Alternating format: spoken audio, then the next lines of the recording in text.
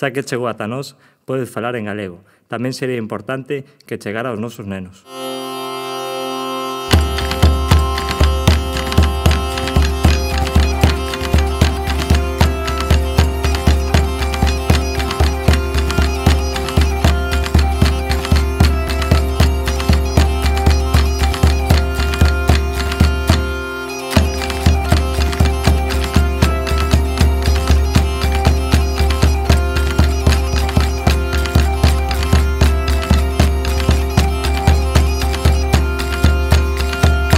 This is